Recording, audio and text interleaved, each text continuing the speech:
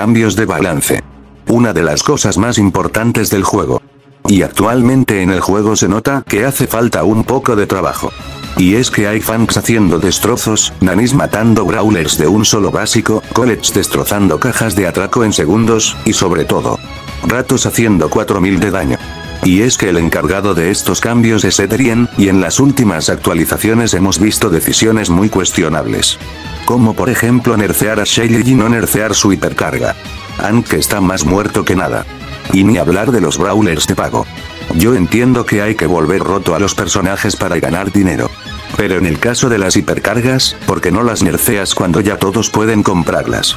O intenta balancear las hipercargas. Como la de Fan, Colette, o la de Crow en Atraco. Hay muchas cosas que hay que arreglar y muchos brawlers que nerfear. ¿Y cómo solucionamos esto? Fácil. Despidiendo a Adrian, o haciendo cambios de balance más seguidos, para que no sea un dolor de cabeza enfrentarse a ciertos brawlers.